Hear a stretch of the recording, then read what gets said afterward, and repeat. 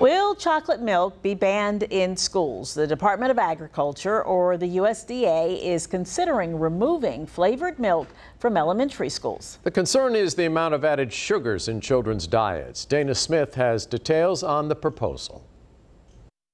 Milk is a decades old staple at school cafeterias across the country, but officials at the Department of Agriculture are considering a ban on flavored milks. Not everyone agrees. I prefer chocolate milk over white any day. According to the Federal Register, which is like a daily journal from the federal government, this new proposal comes amid concerns over the number of added sugars in children's diets. However, you have to get it in them to drink it is what you need to do because it's good for them. One USDA proposal says flavored milk like chocolate or strawberry milk would only be available for high schoolers. Elementary students would only have access to fat free and low fat white milk. When we look at the total consumption of sugar in our kids' diets, most people would be astounded.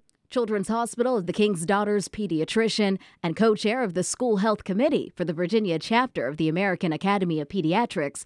Dr. Leah Rowland said parents might be unaware of just how much sugar their children are eating in a day. And when you look at the average in a chocolate milk, 17 grams in a serving. Nothing is set in stone just yet. Another USDA proposal would keep flavored milk for all students, but with a limit on the number of added sugars to no more than 10 grams per cup. I think they should have the strawberry and the chocolate because people get tired of the same old stuff all the time. According to the USDA, flavored milk is the leading source of added sugars in school lunch and breakfast programs. For 13 News Now, it's just milk.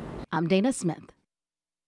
If the USDA does decide to limit flavored milk, it wouldn't happen until the 2025 26 school year.